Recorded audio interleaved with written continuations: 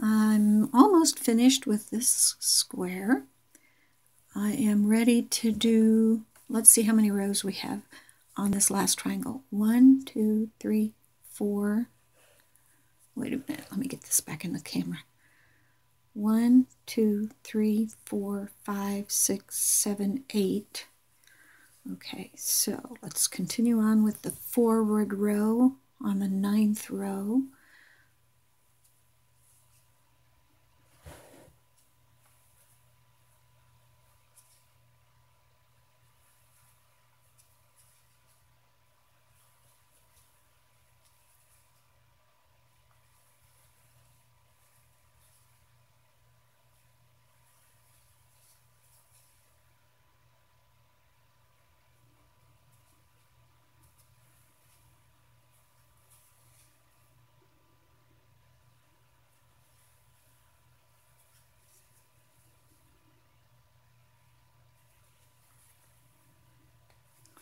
Okay.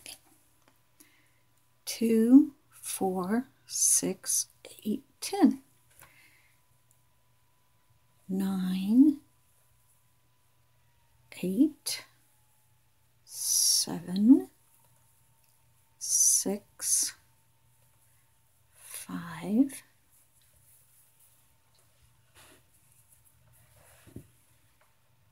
four, three, two, and rotate.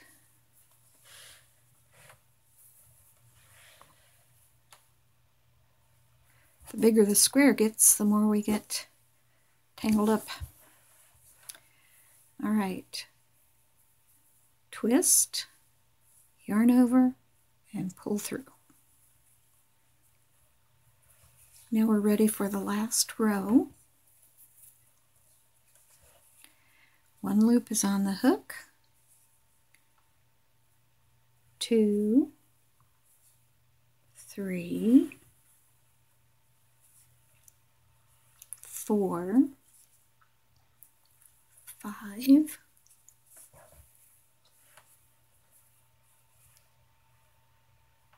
six, seven, eight,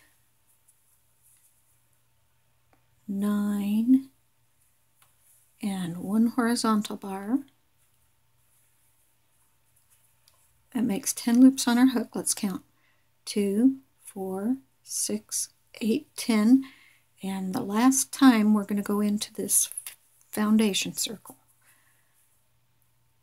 10, nine, eight, oops, seven, six, five, four, three, two, and this is the very last stitch. So we're just, we're not even going to flip it. We're just going to go ahead and twist and yarn over and pull through. Okay, now we can cut the yarn.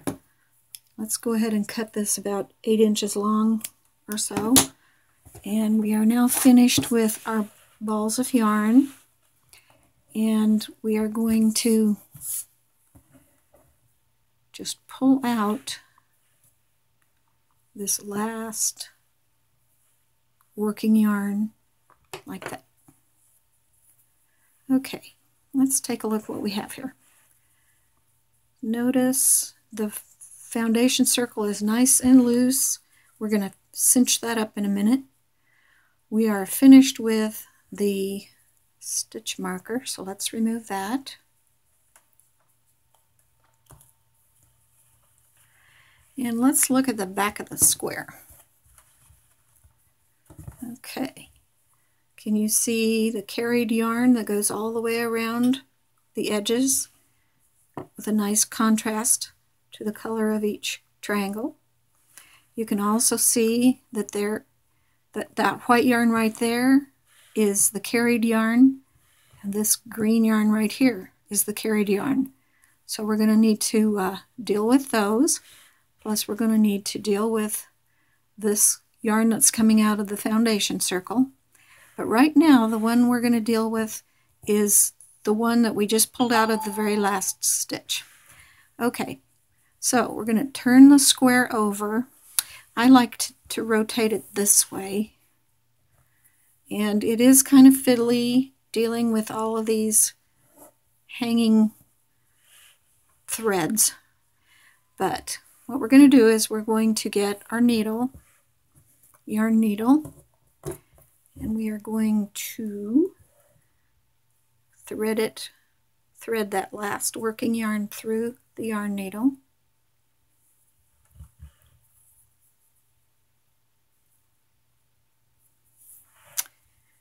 Okay, what we need to do is find, we're going to attach these two corners to each other first. So I always count from this stitch right here, one, two, three, four, five, six, seven, eight, nine, ten. That's where I'm going to put my needle. I'm going to put it from front to back very carefully so that I don't split the yarn under both strands of the V. Pull it tight. Well, not quite yet. Now I'm going from front to back just into the center of this last stitch of the last triangle. From front to back. And I'm going to pull it tight so that these two V's nestle into each other.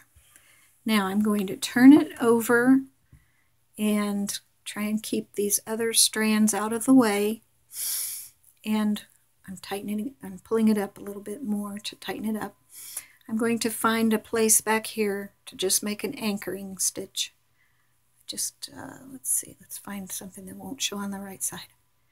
Just want to anchor that just a little so it won't pull loose while I'm working on the seam.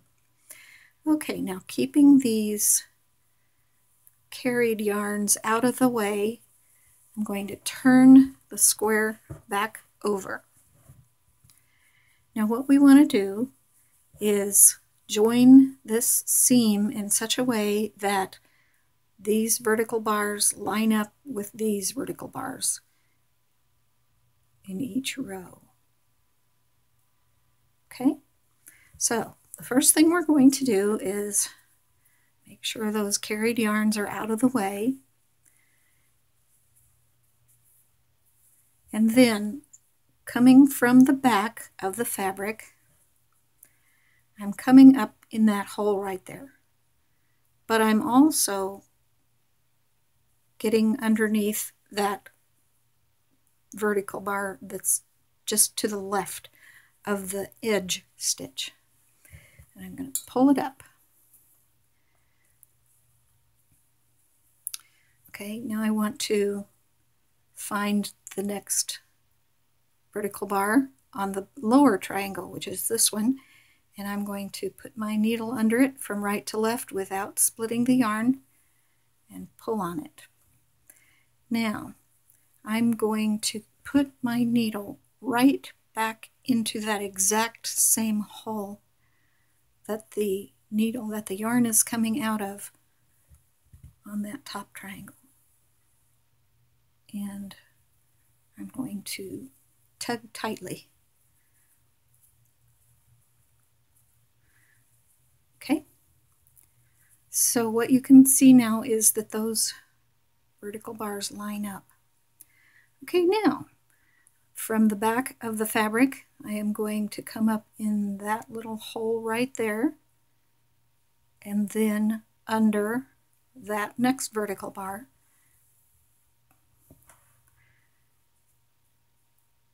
Now find the next one below, right to left without splitting the yarn and pull tight. Then go back down into the exact same hole that that needle came out of.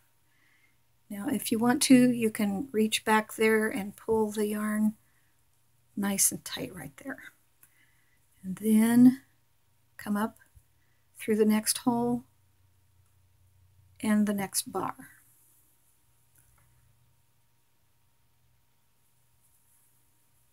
Then go back down into the same hole that it came out of. Now, to save a little time, I can do both of these motions at the same time. See? Let's pull that nice and snug. There. Isn't that beautiful how that goes? Okay, down here. Back into the same hole it came out of. Up there, under that.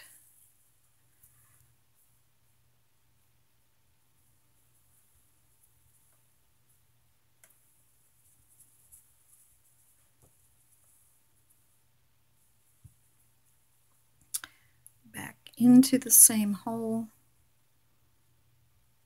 come up there, go under that bar,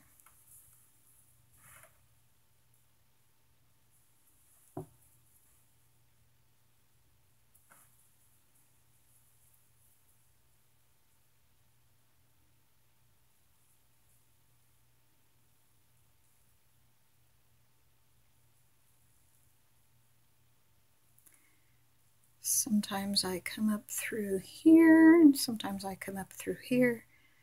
I think I like this way better. Doesn't really matter because on the front it's going to look beautiful.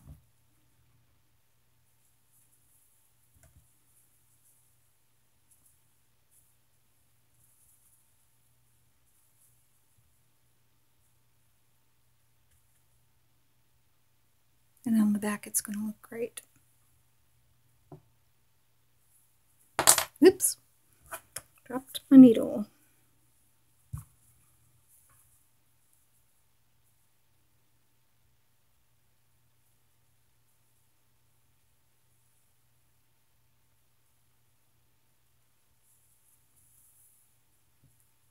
And here's that last, oh, that's not the last one.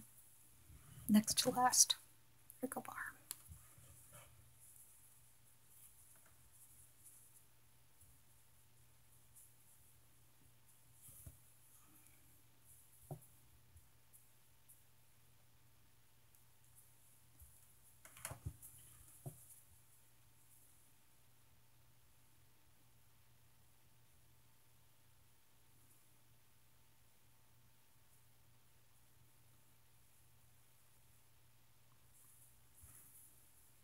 Here's the last vertical bar. It's kind of hard to find sometimes. And then back down into the same hole it came out of. And I just lost my yarn. No, I didn't. Okay. Now I'm pulling on it from the back.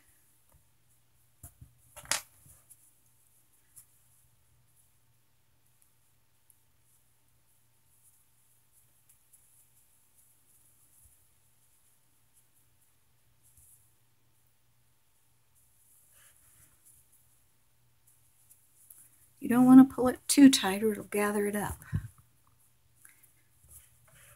See, I gathered it up a little too much right there, so I'm going to just loosen it up a little bit.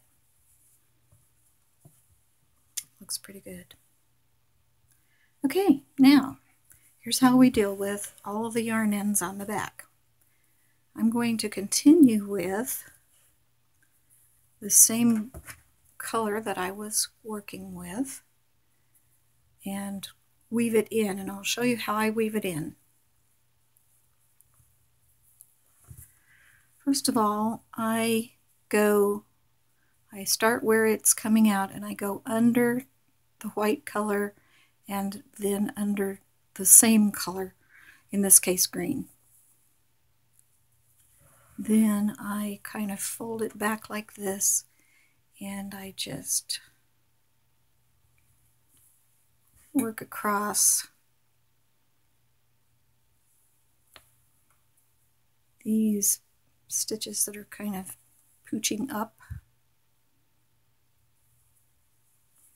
And it's okay if I split these because this is um, weaving in. And when you weave in an end, it's okay to split stitches. It keeps them actually where they're supposed to be a little bit better. And I usually try and go through that tight knot right there to really anchor it.